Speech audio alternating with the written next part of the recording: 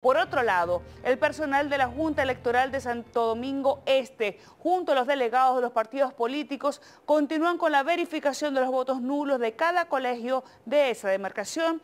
Conectamos con nuestra compañera Maylen Reyes, quien se encuentra en ese órgano comicial. Adelante, Maylen, buenas noches.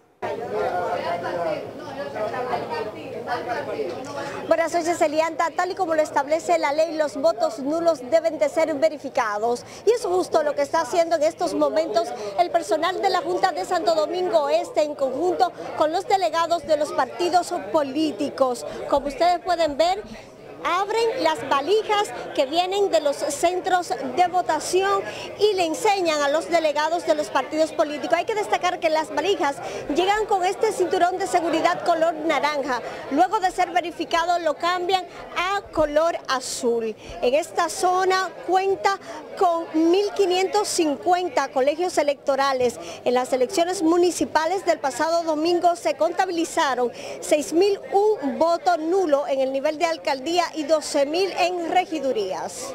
Esta mañana se verificaron todos los votos nulos del Distrito Municipal de San Luis y ahora se encuentran confirmando los de la segunda circunscripción de Santo Domingo Este. La cantidad de votos también va en la misma eh, línea, porcentaje que se acostumbra en cada proceso de un porcentaje ínfimo en el proceso del resultado.